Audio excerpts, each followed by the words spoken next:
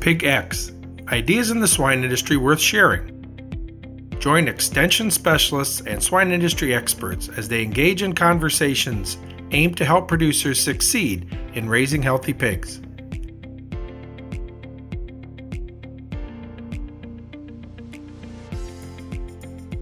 Welcome to another episode of the PigX podcast. I'm your host, Delaney Howell. For this episode, I'm joined by two industry experts Dr. Mike Tokach of Kansas State University, who works in the Department of Animal Sciences and Industry, as well as Dr. Adam Moeser, Associate Professor at the Department of Large Animal Clinical Sciences in the College of Veterinary Medicine at Michigan State. These two gentlemen will be discussing today the impact of weaning ages and management of pigs as related to their weaning ages. But before we get into that topic, gentlemen, I think it's important to share a little bit of your background with us. Dr. Tokach, I'll start with you first. Could you share with the listeners a little bit about your background and what your role is there at Kansas State University? Sure. Yeah, I'm an animal scientist and a swine nutritionist at Kansas State. I've been here for just about 30 years now. And one of the things that, that we specialize in is, is doing large scale field based trials to look at important questions for swine producers, such as the topic of today, like weaning age and what impact it has on pig performance, livability, mortality in the field, as well as the bottom line economics for the producer. And Adam, I'll, I'll turn to you as well. Share with us your background. Are you a veterinarian by training? Uh, yes, I am a veterinarian by training and also uh, received my master's degree in, in, swine nutrition and then went on to get my uh, PhD in gastrointestinal physiology before joining uh, the faculty at North Carolina State University in 2008. And in 2015, I moved to Michigan State University uh, into a chair position. It's the Matilda Wilson Endowed Chair. And my research program, since I began my faculty career, has been based on the impact of early life stress and it's how that impacts gastrointestinal development and disease risk across the lifespan.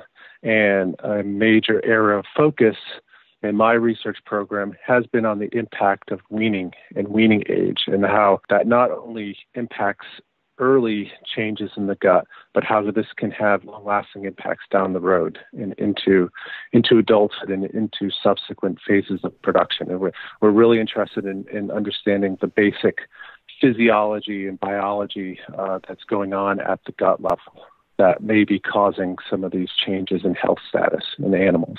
And Adam, since you opened the gate there to gut health and weaning age, I'll kick this question off to you first. But at a high level, why is this topic in particular so important for the swine industry to focus on? It's important because it's it's a known factor that has has been shown to impact animal health and performance uh, throughout the production lifespan of the animals. And uh, some of the early initial work that, that Mike may talk about from his group at uh, Kansas State showed the impact of incremental or minor changes in weaning age and how this could have uh, a tremendous impact on on performance and mortality all the way out into the to the finisher period. And also uh, some of these concepts in the field were solidified by more recent work from David Rosero, Tara Donovan, and Dean Boyd, who did field trials in their system over a four year period of increasing weaning age and how that on performance and uh, health risks later in life as well. So I think it, it's something that is is well established and it's something that is common in the industry still today because we have certain limitations on what ages we can wean pigs. And so there's always a range of weaning ages that we're dealing with and trying to understand what is not only the short term, but the longer term impacts of some of these practices that we're still um, being employed today. And Mike, when you look at the weaning age history of the United States, how did we ever go about determining at what point it was a good idea or a good time to wean hogs? It is interesting when you look back in history that when starting out, you know, some 70 years ago, we did a lot of more natural weaning where pigs were weaned at eight weeks of age. And then the early adopters moved that weaning age down to six weeks way back in the 1960s. But then as we continued to make genetic and nutrition improvements so we learned how to feed those younger pigs, the age continued to move down over the years, uh, but probably the biggest change really happened when we learned that removing the pig from the sow and rearing the pigs on a, another site, that separate site production, could break some of the bacterial disease cycles that we had. And at the time, we thought that weaning age was an extremely important part of that improved performance we saw with multi-site production. And so weaning age moved down to, to pretty early ages and under 18 days uh, as an average in the United States with some producers weaning all the way down to 10 to 12 days of age. What we learned though was that it wasn't the weaning age as much that caused some of those improvements in performance as it was moving that pig away from the existing disease source, so breaking that continual cycle and having that separate site production. And so once we learned that and, and we had more research that started to get published that showed the impact of weaning age on growth performance, we moved our weaning ages back up. And this really happened from about the mid 2000s up until uh, just the last few years here, where we're now about 22 days on, on average in the United States. But we have a, a big range of, of probably around 18 to 25 days with most of our production systems if you look at their average weaning ages. And Adam, I know you do a little more of the biology or could explain a little more of the biology between that, but when you look at a hog or a, a, weaned pig from 18 to 24, 25 days of age, how does that influence mortality at the finishing stages? Not to get too technical, because I'm sure some of our listeners are not scientists or veterinarians by any means, but how does the biology change? So, what we have shown in our studies is that um, it, first, it's it's important to understand what is going on from a developmental standpoint in pigs during the weaning period. So basically, during the first uh, four to eight weeks of life. And there's still a tremendous amount of development that is occurring where the gut and a lot of body systems in the animal are, are getting ready and adapting to life, basically, uh, outside of the womb. And in this critical period is it's occurring rapidly there are changes in, in gut development that are occurring every single day during this period and they're becoming programmed so what happens in early life during this phase is going to shape how that gut will function and be able to perform its normal functions and defend against pathogens throughout the whole lifespan, uh, essentially, of the animal.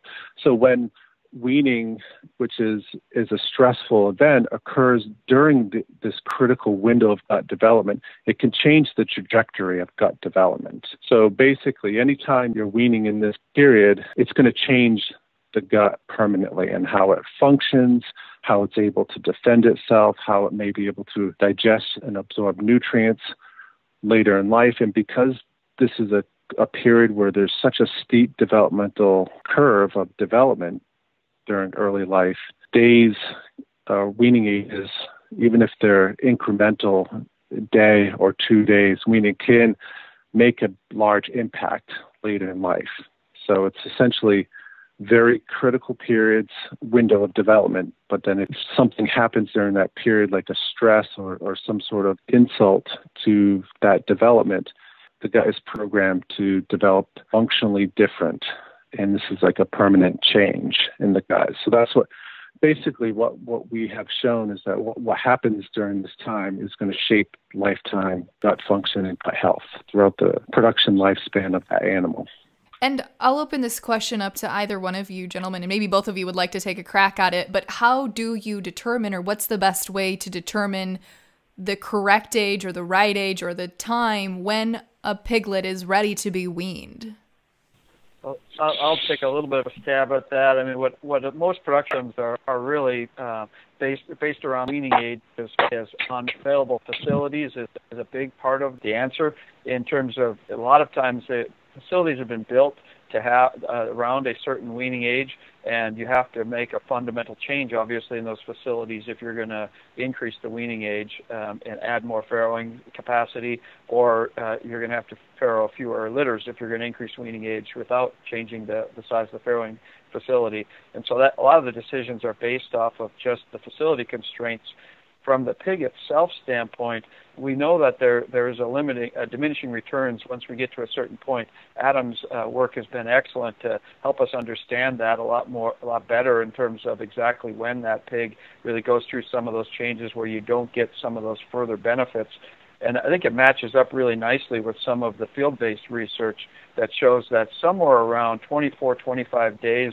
of age, we don't seem to continue to get an increase going up to further 28, 29 days of age in terms of wean to finish mortality. And Adam, you can help us with, with that. Does that match up with your biology measurements of what's going on inside the pig? Yeah, so that's a great point. And trying to figure out from a Mike discussed the important economic impacts of, of these different weaning age and what the limitations are. And as we've been looking at what's the optimal weaning age from a biological standpoint, I think we kind of always thought about is w- what is the natural situation in the weaned pig? When are they typically weaning themselves in like a natural setting? And this this can happen like if pigs out in the wild you know, this may not really happen until about up to eight weeks age so uh, eight or 12 weeks of age when, until they're fully weaned from their mom. So, kind of first understanding how different weaning and commercial production is kind of gives us some insight. And also during this time, thinking about how long does it take the gut to develop during early life. And some of the work that has been shown uh, indicates that it may not be until three months of age until that gut is fully developed and begins to to kind of take on a more adult function of the gut. So, in that sense, when considering just the biological basis of weaning, it would it would seem the later you can wean the pig, the better. Um, but we've done some some experiments where we were looking at some physiological variables in, in gut health, one, one of them being intestinal barrier function, which is how leaky the intestinal um, lining or epithelial cells in the gut are, which is an, an important defense mechanism in the gut. And we compared different weaning ages between uh, 15 day weaning ages compared to all the, all the way up to 28 days of weaning age. And what we what we saw was graded increases in wean age led to significant improvements in later life intestinal barrier function or defense. And uh, what what we what it looked like was that there was a an inflection point at about 24 to 25 day weaning point where we saw up to that the most improvements. And then after that we still got graded improvements but they weren't as as dramatic. So it seems like that 25 to 28 day range is a is from a practical standpoint that that seems like a a period where we saw the most improvement up to that point um, as far as creating a situation of longer term gut health and development think another area that, that plays into this is is the health status of the pig and and what challenges that they face. I, I think the work that Adam's done has, has done a great job of showing us the mechanisms of why these problems occur with early weaning ages. But we're also finding that some production systems, when they've tested increasing weaning age for themselves, if they have very, very low wean to finish mortality, and I do want to make sure that every, all the listeners understand this isn't uh, uh, all of our production systems by any means, but when we have production systems that are under like 4% wean to finish mortality, they don't see as much benefit of increasing their weaning age, which would be expected because if you don't challenge that pig, some of those impairments in intestinal function that Adam's talking about are not as important in finishing performance and mortality, but certainly any of those pigs that undergo health challenges in the nursery or the finishing, that's when the weaning age increases really come through and, and provide value. You know, that's a that's an excellent point because we, we see that as well, even in our research studies, where animals, when they're grown in a, a high high health environment, as as Mike was indicated, you know, we may not see any adverse effects on performance or even disease risk. However, at the gut level, these changes are, are very sensitive and, they are occurring.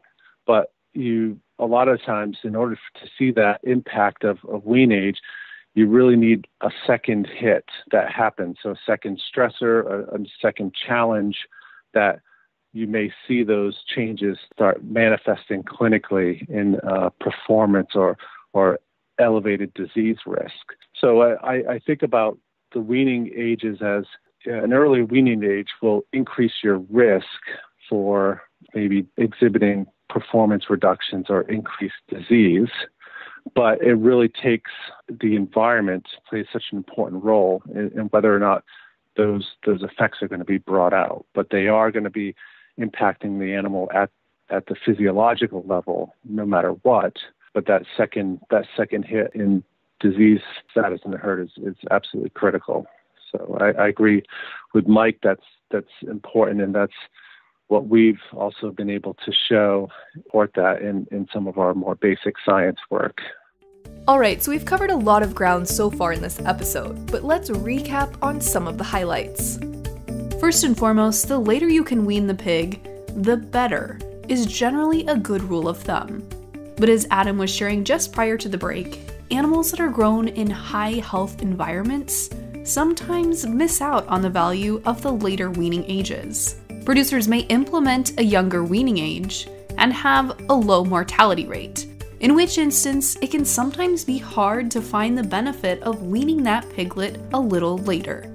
However, as Adam stated, a piglet's gut health could still be drastically impacted, and other stressors could appear, making a large impact on a piglet's life. So let's dive back in and talk a little bit more about gut health. For clarification purposes, or just so that everybody's on the same page with verbiage and whatnot, Adam, you mentioned a lot about the gut level health and the differences between a weaned pig and maybe a pig that's three to four months old.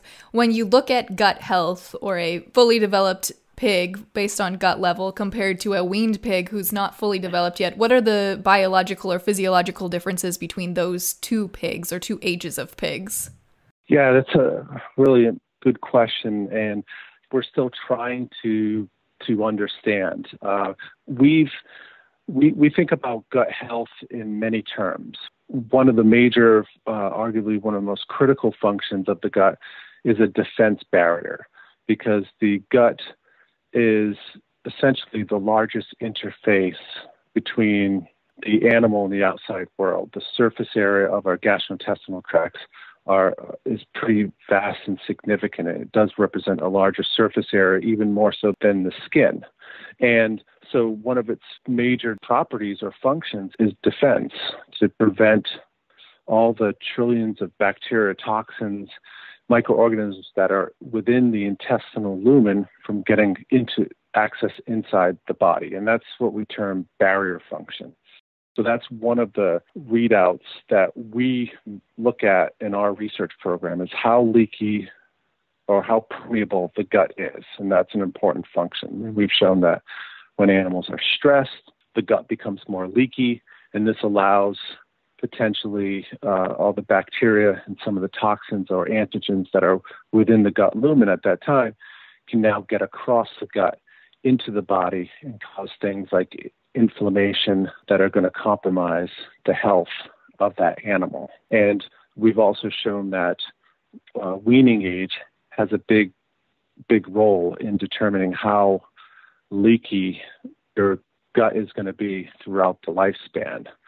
And we've shown that uh, an earlier weaning age, let's say, for example, pig weaned at, at 16 days of age compared to a pig weaned at even, uh, like, say, 24 days of age, if you grow those animals up into the finisher phase, the early weaned animals, the 16 day weaned animals, are going to have more increased intestinal permeability compared to the late weaned animals. So that's that's one of the functions that, that we've been really interested in because it's so critical to health of the animal. And we're going to talk more about another function in a moment, but first I wanted Adam to dive a little deeper into a term you've heard quite a bit throughout the episode leaky gut. One of the major roles of the gut is to to prevent the components or, or, bacteria and toxins that are normally residing in the intestine from getting across the body. So it's a barrier function and it's and it's performed by the cells that are lining the gut. So when the stress or the animal is exposed to a stress or a challenge, this lining becomes porous. And I use the term leaky because there there are actually little gaps now in between the cells that are lining the gut that now are going to allow bacteria products and maybe feed antigens to now get across this barrier because there's now whole, essentially little uh, microscopic holes in this barrier in between the cells. So that's why I use the term leaking of these products across the gut wall. So it just becomes kind of a porous, basically gaps that occur that now limit their the ability to prevent bacteria from getting across the gut. So we term that as leaky gut. All right, now that we've got a good understanding of leaky gut, let's continue on with the second functionality of the gut.